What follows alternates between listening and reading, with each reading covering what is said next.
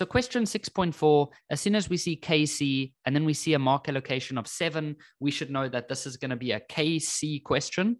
And so what I do immediately is I go set up my KC table. And so your teacher might label the table a little differently to me. I've seen many different ways, but we can typically put the reaction over here. Then we put the initial moles, uh, the change. Your teacher might call that part the difference. Uh, then this would be moles at equilibrium. And then this would be concentration at equilibrium.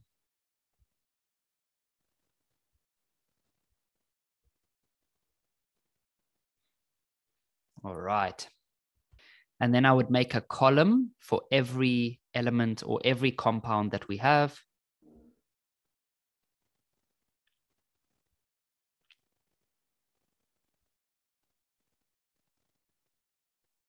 And then I would go fill it in. So it's 2SO2 um, plus oxygen, which gives us SO3, 2SO3. Okay.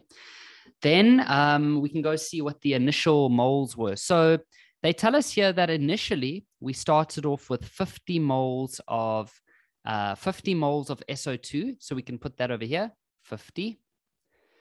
We don't know how much oxygen it says calculate the original mass of oxygen that was used. So I'm just going to put an X there. We have no idea how much mass or how many moles. And then for the product, we normally start with a zero over there. Then they tell us at equilibrium, we have 22 moles of SO3. So I can fill that in over here, 22. Now, guys, pay careful attention. What we can now do is we can see how do we go from here to here? Well, that would be plus 22. Now, that part that I've done in green is the most important part of this whole table because what I now do is I can fill in this value over here and I can also fill in this value over here just by looking at the mole ratio numbers that are in the front of each of those compounds. All right.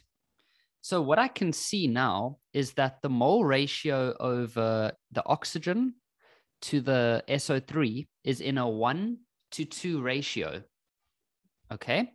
So that means that if this one is 22, then this one must be 11, but it will be a minus 11. Why? Because it is a reactant. And what happens to the amount of reactants in a reaction? They become less but if we look on the other side at the products, we know that they always become more. Okay. And so that's where the minus and the plus comes from over there. And then I can look at this one now, and the mole ratio of those two is two to two, which is the same as one to one. So I can put a minus 22 over here.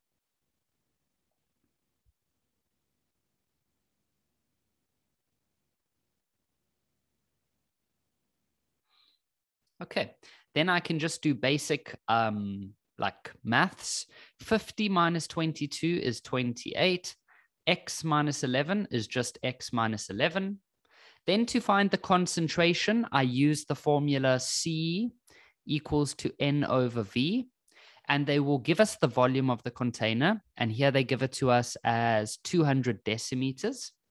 So I will then use that formula over here, over here, and over here. Right. Now I'm going to go work out the volume, I mean the concentration, by saying 28 divided by 200. Uh, we could probably simplify that on our calculators. 7 over 50. 7, wait, oh, that's 0 0.14. 0 0.14. Then this one would be x minus 11 over 200. And then this one would be 22 over 200. And if you type that on your calculator, 0.11. Okay, so there we have it, guys. We have everything in our KC table filled in. Now we can use the KC formula. Now remember that KC is products over reactants. Another thing to remember that in the KC calculation, we only use aqueous and gas. Okay. We do not use liquid or solid. We don't use those in the KC calculation. So if we have a quick little scan up here at the top, we can see we've got gas, gas, and gas. So we're good to go. We can use all of them in our KC calculation. Don't say I didn't warn you about that one. Um, that can catch you out. All right, so now we're going to go full in the products. So the products would be the SO3. So I say that it's the concentration of the SO3. And then what I do is I look at the chemical reaction and I see if there's any number in the front. Yes, there is. And so that becomes a exponent over there. Then I go to my reactants, which is the oxygen. And then I multiply the SO2.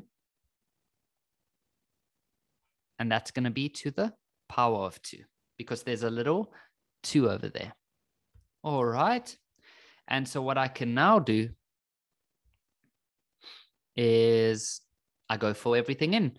And so that's going to be equal to 0.11 squared over the oxygen, which is x minus 11 over 200, multiplied by 0.14 squared. Now, we know what the KC answer is. They said that the KC answer is 7.328. 7.328. And now all of a sudden, this becomes like some PhD mathematical question where we got to do some crazy stuff. No, I'm just joking, guys. It doesn't get too bad. It just looks horrible.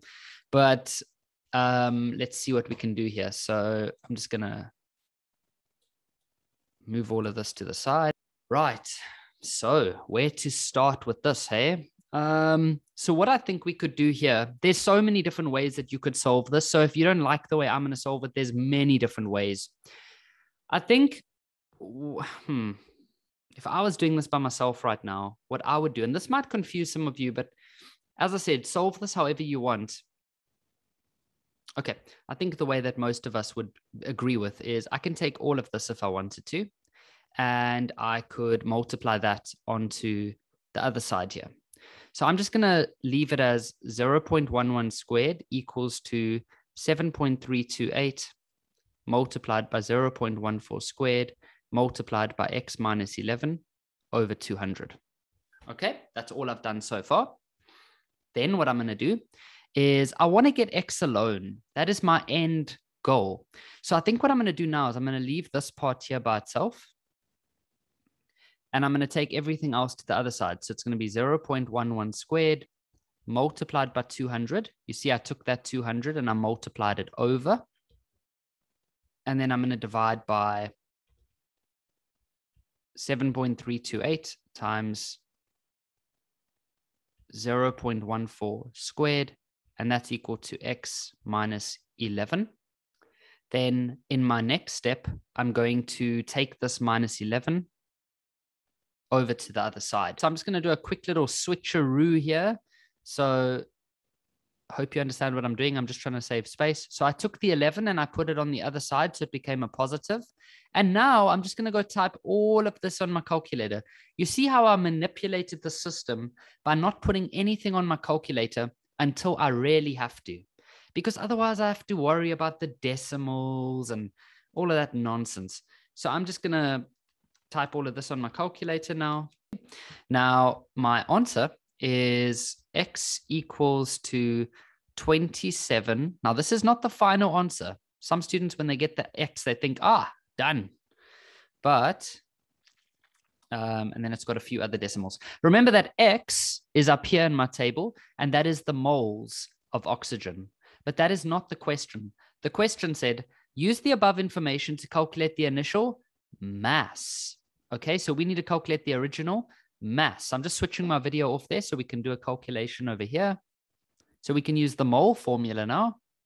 And uh, the number of moles is 27,8489885 equals to the mass, which we don't know, over the molar mass of oxygen. Now, remember that oxygen, um, there's two of them there. So that's going to be 16 plus 16 because I'm getting that on the periodic table. And so I'm going to put a 32 over there. Then I can do a cross multiplication. And we get a final answer of 891,17 grams.